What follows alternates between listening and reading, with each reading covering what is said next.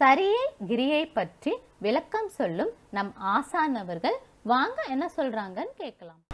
முத்தியும் நீயே முத்திக்குரிய அறிவு நீயே முத்தியும் நீயேன்னு கேட்பார்கள். அப்போ இன்னொரு வார்த்தை கேட்பார்கள். சரிகை நீயே சரிகைக்குரிய அறிவு நீயே சரிகன் சித்தி நீயே இரிய நீயே இரியக்குரிய அறிவு நீயே இரியன் சித்தி நீயே யோகம் நீயே யோகத்துக்கு ஒரு அறிவு நீயே யோக சித்தியும் நீயே. முத்தி இது ஞானமும் நீயே ஞானத்துக்கு ஒரு அறிவு நீயே ஞான சித்தியும் நீயேன்னு சொன்னான். இது பரிகட்டு.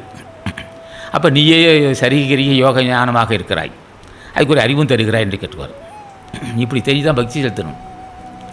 அப்போ பக்தி செலுத்துவது பக்தி செலுத்துவதற்கு உபாயம் ஞானிகள் திருவடி தான் அதுதான் நம்மை ஜென்மத்தை கிடைத்தேற்றும்.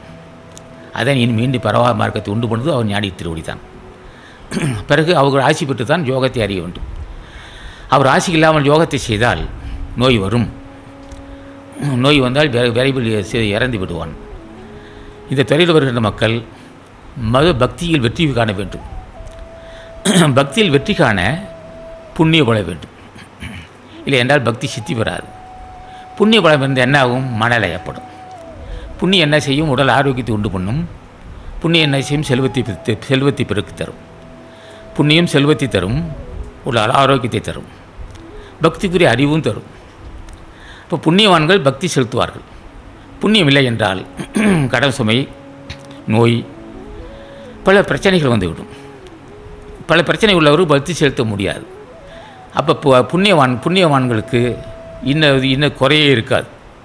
வறுமை இருக்காது கடன் சுமை இருக்காது நிம்மதியாக இருக்கும்.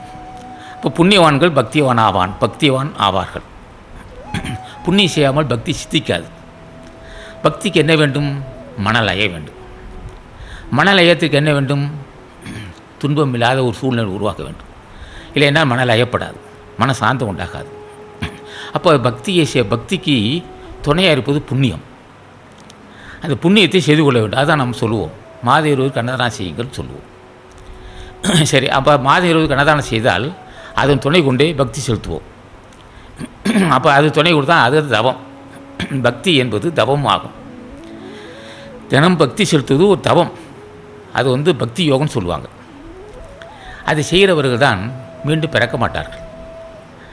அதுக்கு தான் சாது சங்க தொடர்பு வேண்டும். அப்போ பக்தி தெரிந்தவனாக இருக்க வேண்டும். சாது சங்க தொடர்பு உள்ளவன் பக்தி தெரிந்தவனாக இருக்க வேண்டும். வெறும் கோயில் பூஜை செய்ய வெறும் ஆறாவது சடங்கு செய்கிறவன் பக்தி அல்ல. ஒரு நிம்மதி அது ஏதோ செய்கிறான் அவ்வளோதான் ஆறாவது சடங்கு செய்வார்கள். சில பேர் பல வகையான சடங்குகள் செய்வார்கள். அது பக்தியாக ஏற்றுக்கொள்ள மாட்டான் ஞானிகள். பக்தி என்றாலே ஞானிகள் திருவடி தான் அது என்ன இப்படி ஞானிகள் திருநா? அகத்தீஷா நந்தீஷா திருமலை தேவா. ஆசானது அருளுரைகளை தொடர்ந்து கேட்க அரங்கர் டிவிக்கு லைக் பண்ணுங்க சப்ஸ்கிரைப் பண்ணுங்க மறக்காம பெல் பட்டனையும் கிளிக் பண்ணுங்க.